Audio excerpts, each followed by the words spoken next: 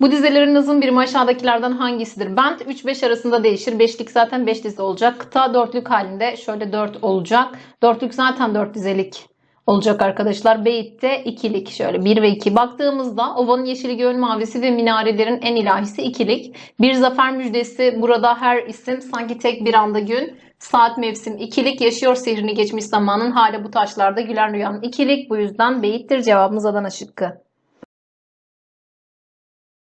Aşağıdaki açıklamalardan hangisi ayraç içindeki sözcükle ilgili değildir? Bir şiirin parçası olabileceği gibi kendi içinde bağımsız bir bütün de olabilen en küçük nazım birimi dizedir. Doğru. Şiirde 3 ya da daha fazla dizeden oluşan ve anlam bütünlüğü taşıyan bölümler benttir. Doğru. Şiirin nazım birimi ölçüsü ve uyak örgüsüne göre kazandığı biçimsel özelliklerin genel adı nazım birimidir. Doğru. Şiirde konuşan şairin sesini ve söyleyişine emanet ettiği kişi ya da varlık söyleyicidir arkadaşlar. Ozan değildir. Dolayısıyla cevabımız Denizli Şıkkı olur. Bir şiirin işlediği konuya göre aldığı isim nazım türü. Bu da doğru. Cevabımız D.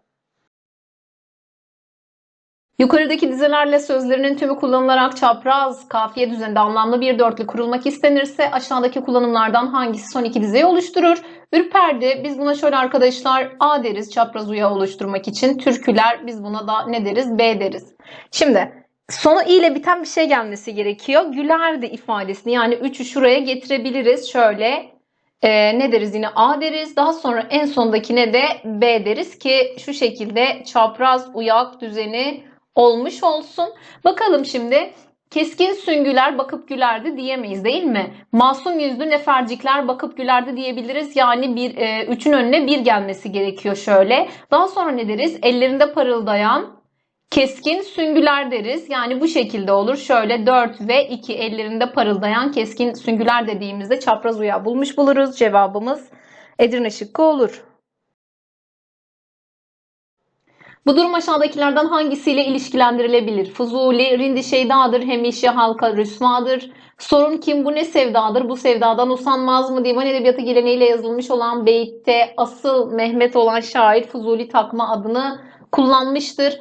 Divan edebiyatındaki bu duruma biz mahlas diyoruz arkadaşlar. Uyak kafiye değil, cinaz, e, yazılışı aynı anlamı farklı sözcüklerdir. Tapşırma halk edebiyatındaki mahlastır. Ölçü hiç değil zaten. Cevabımız C. Bu dizelerle ilgili yargılarından hangileri doğrudur? Uyak ve redif kullanılarak ahenk oluşturulmuştur. Bakalım yok.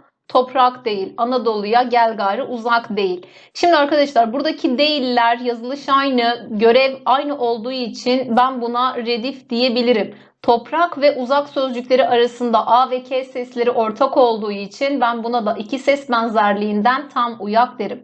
İkiye bakıyorum. Değil değil bir kere var değil mi burada? Buradaki değiller anlam olarak aynı, görev olarak aynı olduğu için ben bunlara redif derim. Şafak ve uyanacak sözcükleri arasında iki ses benzerliği olduğu için ben buna yine tam uyak diyebilirim. Dolayısıyla bir kesinlikle doğru. Serbest tarzda yazılmış mı baktığımızda bir dize uzun bir dize kısa zaten hece ölçüsü olamaz. Serbest tarzda yazılmış bu da doğru.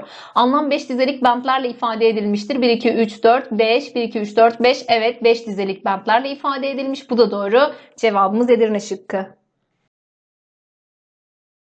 Buna göre aşağıdaki nazım şekillerinden hangisi birim değeri nazım birimi yönüyle diğerlerinden farklıdır? Şiir içindeki mısraların kümelenmesinden meydana gelen nazım birimi kümede bulunan mısraların sayısına göre ad alır. Şimdi arkadaşlar baktığımızda tuyu, rubai, şarkı ve murabba dörtlüklerden oluşan nazım birimidir. Kıtaya baktığımızda ise beyitlerle kurulur. Bu yüzden cevabımız Denizli.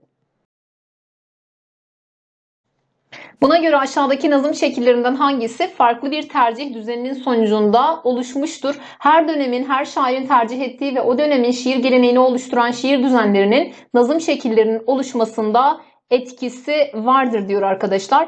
Şimdi baktığımızda sone, terzarima, serbest nazım ve balat bunlar arkadaşlar batıdan edebiyatımıza giren türlerdir. Fakat varsaya baktığımızda aşık edebiyatı nazım biçimidir. Bu yüzden cevabımız C şıkkı olur. Bu dizeler yapı özellikleri bakımından aşağıdaki nazım şekillerinden hangisine örnektir? Bahçede iyide midir, dalları yerde midir? Her gördüğün seversen sendeki mide midir diyor arkadaşlar. AA X A şeklinde gittiği için ben buna mani diyebilirim. Destan değil 11'li olacak. Koşma 11'li. Türkü değil. Semai değil. Şimdi baktığımızda 7'li hece ölçüsüyle yazılmış olması gerekiyor. 1, 2, 3, 4, 5, 6, 7. 1, 2, 3, 4, 5, 6, 7. Ünleri saymamız yeterli. Cevabımız Denizli. Bu dizelerle ilgili olarak aşağıdakilerden hangisi söylenemez? Doğaya özgü ögelerden yararlanılmıştır. Gümüş bir dumanla kapandı her yer. Yer, gök bu akşam yayla dumanı. Sürüler, çimenler, sarı çiçekler, beyaz kar, yeşilçam, yayla dumanı. Doğaya özgü ögeler var. Yayla dumanı, yer, gök, çimen, sürü doğru.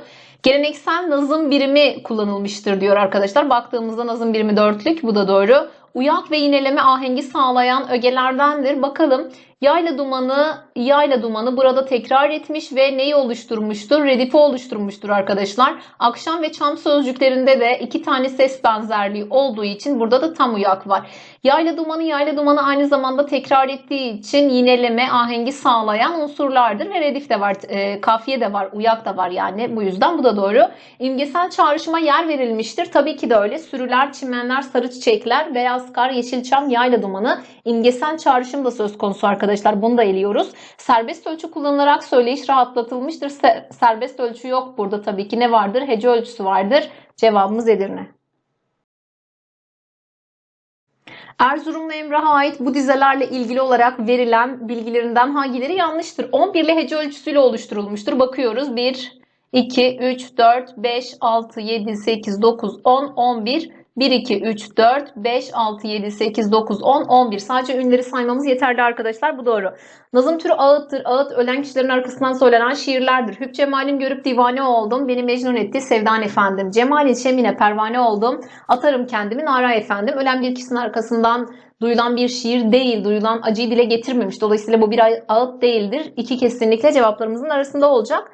Divan mazmunlarından yararlanılmıştır diyor arkadaşlar.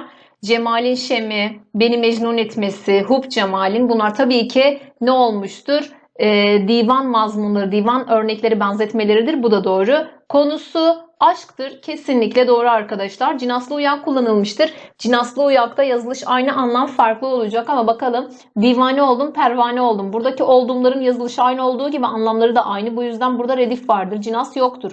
Divane, pervane sözcükleri arasında da zaten ne vardır? Kafiye vardır. Cinaslı uyak kullanılmadı. Redif var burada sadece. Dolayısıyla cevabımız 2 ve 5 yani C şıkkı. Aşağıdakilerden hangisi yukarıdaki verilen şiirlerin ortak özellikleri değildir? Aynı uyak örgüsünü kullanma. Bakalım arkadaşlar. Şimdi aynı bittiği için ben buna AA diyorum. Kendi arasında aynı bittiği için ben buna BB diyorum. Bunlar da kendi arasında aynı olduğu için CC, şöyle, DD ve EE. Biz buna mesnevi nazım, e, mesnevi uyak örgüsü diyoruz. Dolayısıyla burada kesinlikle bir mesnevi e, tipi vardır. Bu şekilde bakalım. Bekler bekler AA. İçeride inanış, kış, içinde çiçekler. Burada arkadaşlar farklı gitti. Dolayısıyla aynı uyak örgüsünü kullanma yok. Şöyle cevabımız Adana şıkkı. Çağrışımlar içerme bakalım. Şanlı hikayesi binlerce erin, sesin nabzın olmuş hengamelerin nakleder yadını gelen geçene bu hayalde uyur. Bursa her gece. Bursa'nın her gece uyuması tabii ki bir çağrışım.